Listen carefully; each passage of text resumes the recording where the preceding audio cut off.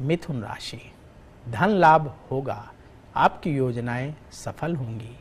शिक्षा के क्षेत्र में सफलता मिलेगी।